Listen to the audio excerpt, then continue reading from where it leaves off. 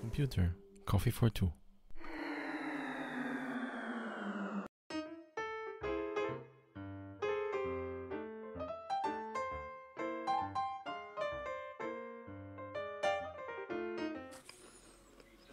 Hello everyone, Panic Coffee here. Today's video is about something that's common to a lot of living card games in particular. If you're typically someone who just buys a few expansions, this shouldn't be any issue.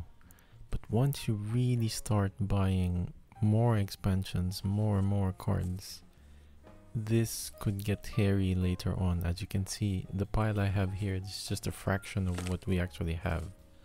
So today I'm going to show you how I organize these leaflets, rules, inserts from, from all sorts of card games into one, at least one binder, one pile.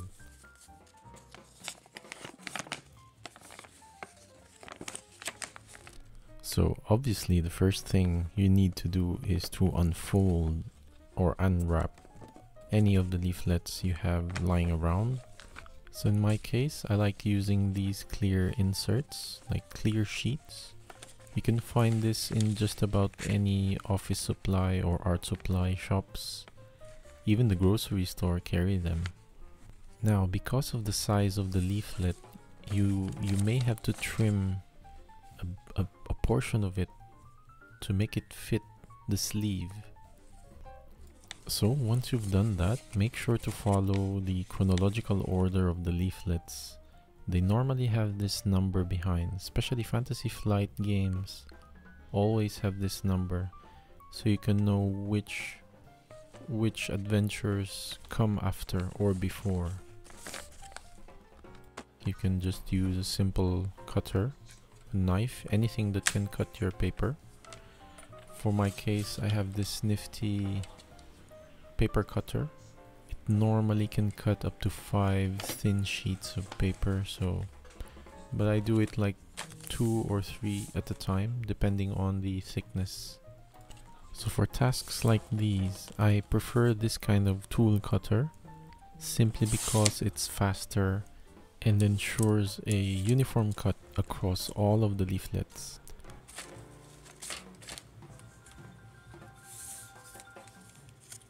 So once you've cut all of the leaflets to the correct size, all we have to do now is insert them in the sheets.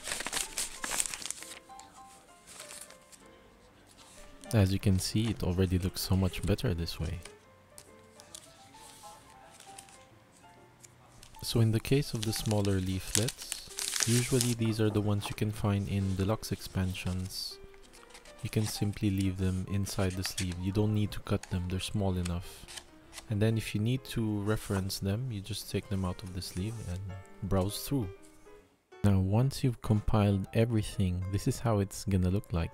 So obviously you could just store this anywhere, a folder or a box. I really just prefer to store them in an organized way. And it looks neater this way. Now, depending on how much expansions you have, you may need more than one binder. But you know, they're cheap. The sheets are cheap, the binders are cheap, and they're available almost anywhere. In our case, one binder is enough for now. Um, maybe later we'll have more. As you can see, we, we already have a bunch of different LCGs, uh, trading card games as well.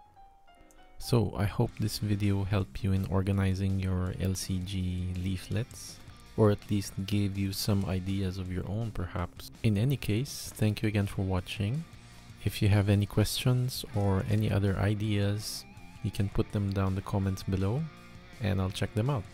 See ya!